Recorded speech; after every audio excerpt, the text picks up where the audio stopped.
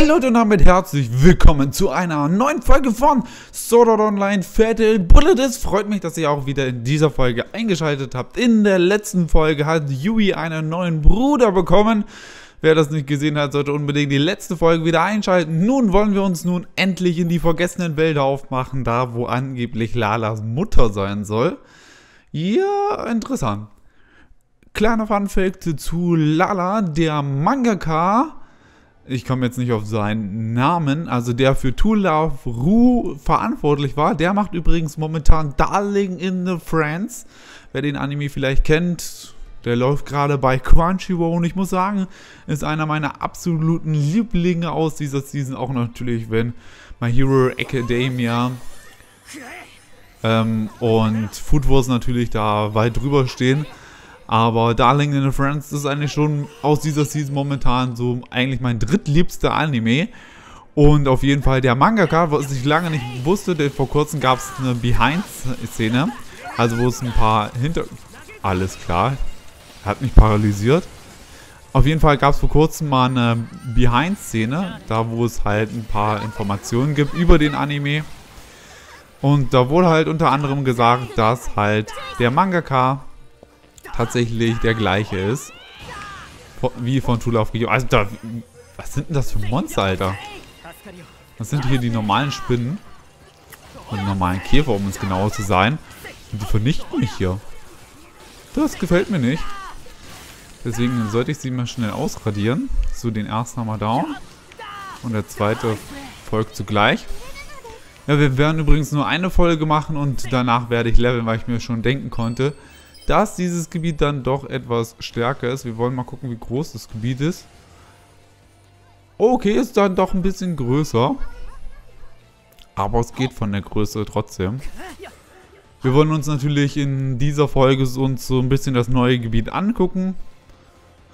Offcam werde ich es mir... Wow, was? 59? Äh, das ist schon krass.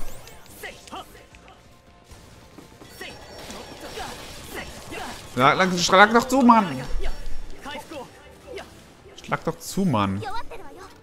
Ah, jetzt muss ich erstmal nachladen. Oh, oh, da hinten stehen sogar schon Charaktere. Ja, und jetzt bin ich gestorben.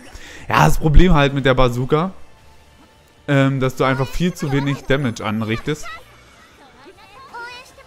So. Und ich muss halt erstmal mit der Bazooka erstmal weiterkämpfen. Was? Er ist nicht gestorben?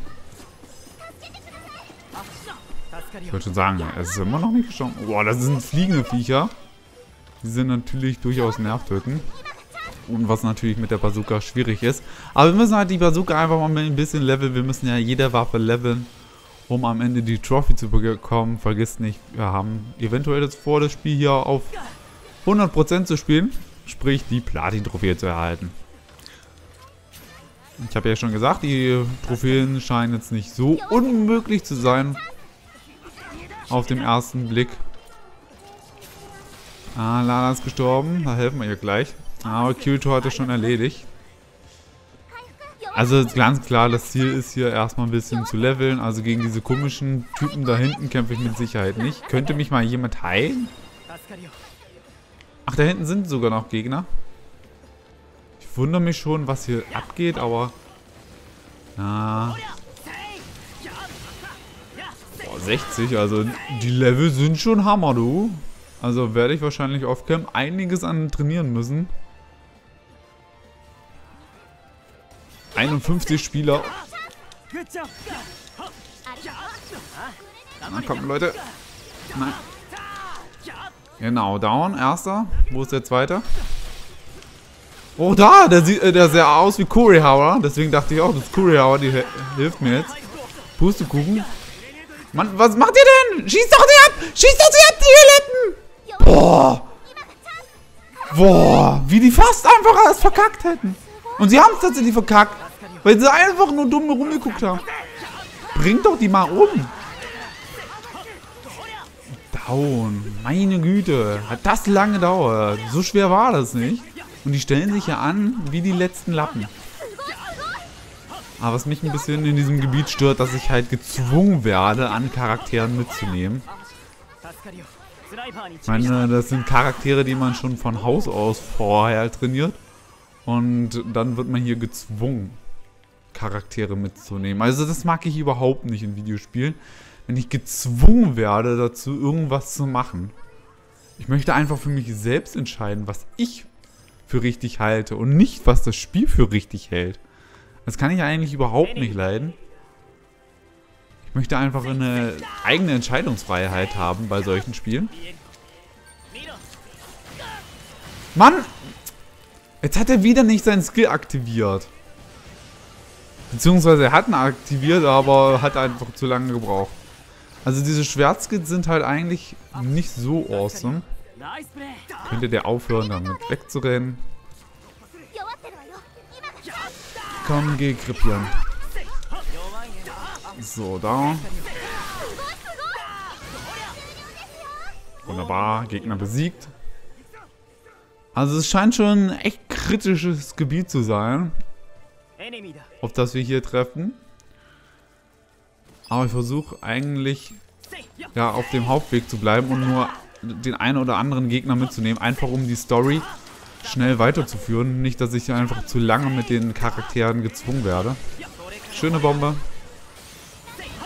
Seltenes Item. Aber da werden wir dann richtig am Ende an IP bekommen. Aber ihr seht schon, die Gegner sind schon ziemlich krass. Also wir sind zwar auf 50, aber trotzdem. Ihr seht ja, was die an Damage ziehen. Oh. Und dann sind gleich die nächsten. Aber 47 geht eigentlich. Vielleicht komme ich tatsächlich sogar... Mmh. Ja, genau. Wo seid ihr eigentlich? Warum steht ihr eigentlich da so kilometerweit hinten? Und was macht da Courier? Lala. Leute, ich liege im Gras und sterbe. Es ist halt ein Problem, dass ich mit der Bazooka halt viel zu wenig Damage anrichte. Was das Schwert eigentlich... Boah, mach, lauf doch, ey. Das ist so ein Problem manchmal mit diesem Sprinten, ne? Ihr seht ja zum Beispiel, dass er einfach manchmal aufhört zu sprinten und den muss ich jetzt erstmal noch umbringen. Und da hinten ist noch einer, alles klar. Und noch einer, und noch einer, alles klar. Rastet halt aus. So, und du auch noch. Und down. Der ist eigentlich auch machbar. Nein, jetzt wollte ich wieder mein Skill einsetzen und genau... Genau, und genau in dem Moment weicht der wieder aus. Ist klar. Genau in dem Moment, wo ich den Skill einsetze, weicht der aus. Seems legit Spiel. Komm. Ah, wieder gestorben. Und genau in dem Moment stirbt Lada, oder was? Ist klar. Vielleicht kann ich sie, vielleicht stirbt sie jetzt und ich kann sie halten, ja. Kirito darf mir bloß nicht den Heal wegnehmen. Also Kirito ist manchmal schon etwas störend, weil er mir ständig die Heals wegnimmt. Da sind immer noch ein paar Gegner.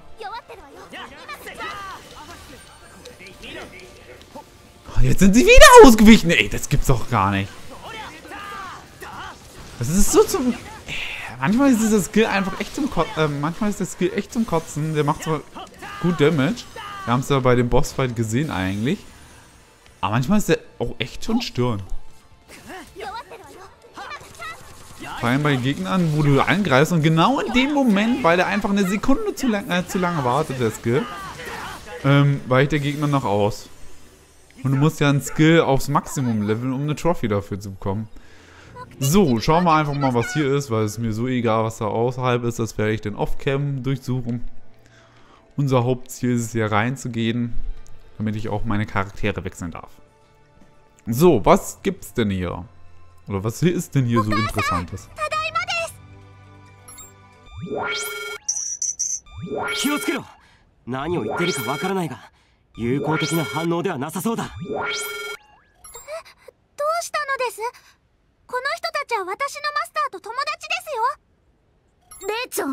あれが何て言っているかわかるの私たちが入ってはダメ除すると言ってます早速戦闘か行くぞ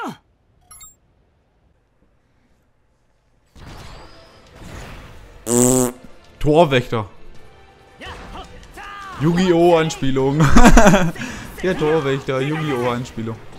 Wow. Und er bewegt sich schnell und hat Lala fast instant gekillt.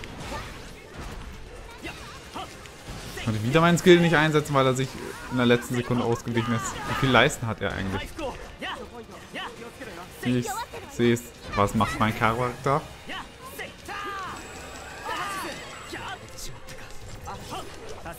Lala ist tot.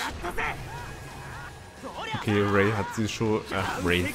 Kuria hat sie schon jetzt, äh, oh, jetzt, ich dachte, jetzt würde er knien und ich wollte jetzt eigentlich leicht den Skill einsetzen.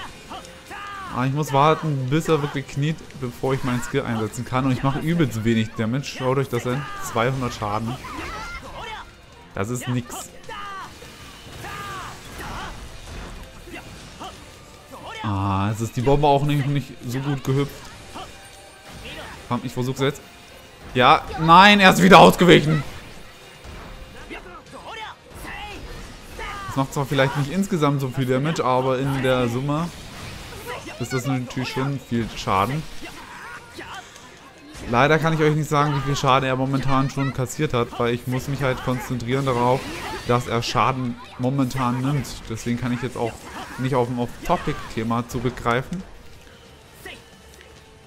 Hey, da ist eine Kiste. Hauptsache erstmal die Kiste. Alter. Genau. Nein, warum? Warum bewegt er sich denn nicht noch einen äh, Ticken an, auf die andere Seite zu? So, wie sieht's aus? Wow, wir haben wahnsinnig viel Schaden schon angerichtet. Fuß. Aber das Schwert ist halt gegen solche Gegner eigentlich das effektivste. Weil du halt damit eigentlich mehr Schaden machst. Ja, Kirito hat natürlich super Skills und genau in dem... Wow, ich wollte jetzt gerade wieder den Skill einsetzen. Genau. Hör doch mal auf, sich zu bewegen. Wie er sich wieder bewegt hat. Er hat sich wieder bewegt. Unfassbar.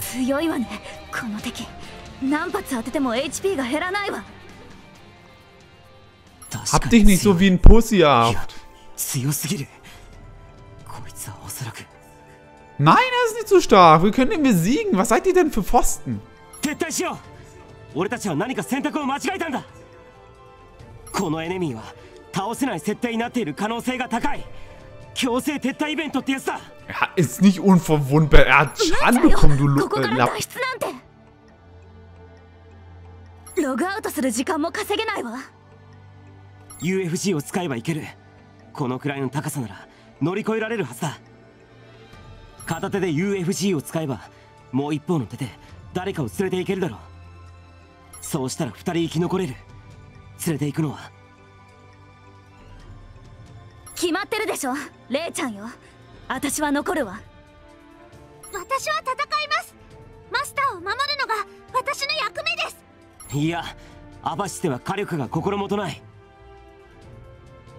大体あんたが死んでレイちゃんがドロップしちゃったらどうするのよ。それにキリトさんには悪いけど私はあのエネミーを倒すつもりよ。決まったな。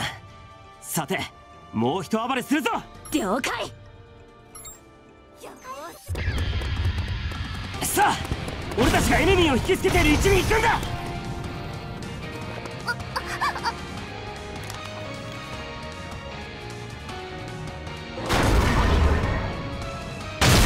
行け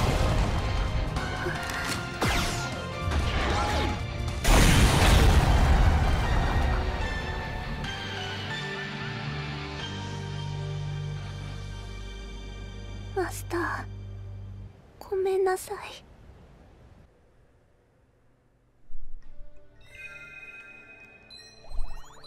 Warum sind wir jetzt geflüchtet, Alter? Wir hatten doch den guten Schein gemacht.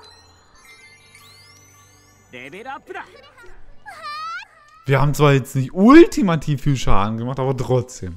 Ah, cool, endlich mal wieder eine Zwischensequenz in Sword Art Online Fatal Bullet. Die ging zwar nur gefühlte zwei Sekunden, aber... Hey! Es gab eine Zwischensequenz.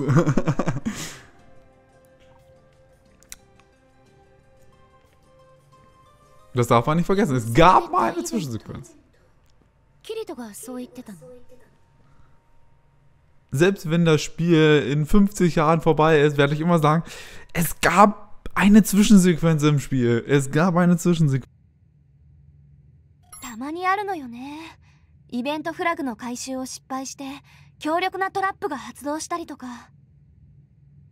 まず倒すのが不可能な敵が現れたりとかね。今回もそうだったんじゃないかな。レイちゃんもあまり気にしなくていいわ。キリト君たちならそろそろ帰ってくるわよ。アスナの言う通りだよ。このクエストは何度でも挑戦できるみたいだしさ。ただいまうわぴったり。さすがアスナさん。ああもうちょっとで倒せると思ったんだけどな。いやあれは絶対 HP ゲージがゼロにならない仕様だって。おかえりなさいキリト君。クレハもナイスファイトだったね。ありがとうアスナ。もう話は聞いているのね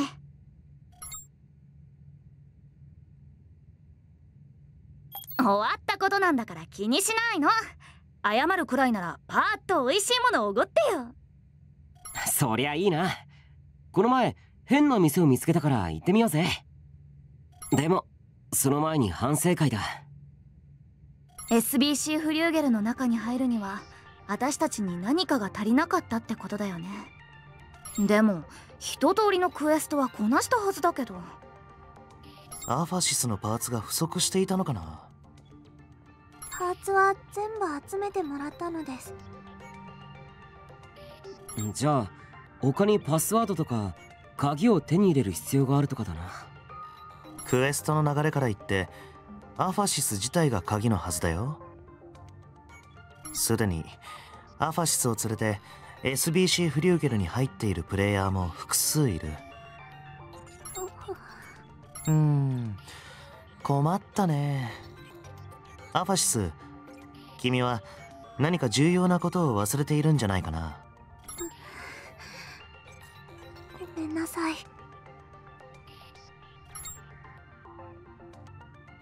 マスター。あくまで情報収集の責任は自分にあると言いたいんだね。確かに NPC にミッション失敗の責任を負わせるのは筋違いだ。原因の究明も大事だけど次の挑戦のことも考えようぜ。そうだな。一度街で情報を集めてみようぜ。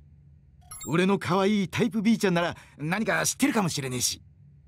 お前まだ口説いてんのか？まそれはそれとして別に情報を当たってみるのはいいアイデアだ私も周りの人に何か知ってないか聞いてみるよ。フリューゲルを目指してる人結構いたし。私も噂話を集めるくらいならお手伝いできます。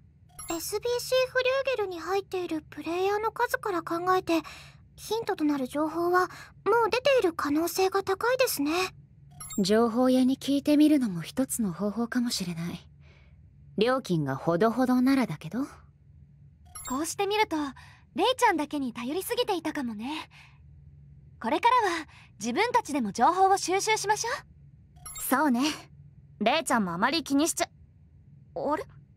レイちゃんは？変だな。さっきまで僕のそばにいたんだけど。レイちゃん？レイちゃん？どこにいるの？いない。どうしよう。落ち着いてくれ。きっと大丈夫。さっきまでここにいたんだものすぐちだがこんな話の最中だ。ちょっと買い物に出たというわけでもないだろままさか家出家出かどうかはわからないけれどレイちゃん傷ついてると思う。自分の力不足で迷惑かけるなんて。もし私が同じことをしちゃったら落ち込むわよ。そういうことならさっさと探しに行こうぜ。ったくあいつは天然だから面白いのに。失敗の一つや二つでくよくよするなんてよ。ああ落ち込む気持ちもわかるけど失敗したらもう一度挑戦すればいい。アバシスにそれを教えてやらなくちゃな。キリト君の言う通りよ。みんなで手分けすればすぐに見つかるわ。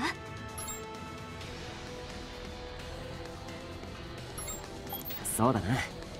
アバシスのマスターは君だものな。うん話すのは君じゃなきゃダメね。だけど探すのくらいは手伝わせて。そうよそうよ。私たちだってレイちゃんの仲間なんだから。レイちゃんは NPC だから一人では街の外に出られないはず。みんなでグロッケン中を回りましょう。見つけたらまずはあんたにメッセ飛ばすから。みんなもいいよね。了解です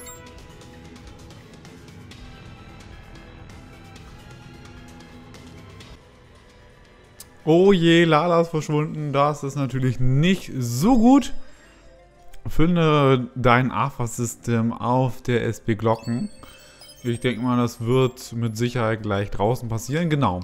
Aber ich werde jetzt erstmal die Folge beenden. Vielen Dank für eure Aufmerksamkeit. Wir werden in der nächsten Folge eine kurze Folge machen. Dann werde ich einen kurzen Schnitt machen und dann halt leveln. Aber jetzt, wie gesagt, noch nicht leveln, dadurch, dass wir halt jetzt gleich eine Zwischensequenz bekommen. Vielen Dank fürs Zusehen. Bis dahin und ciao. Euer Flui.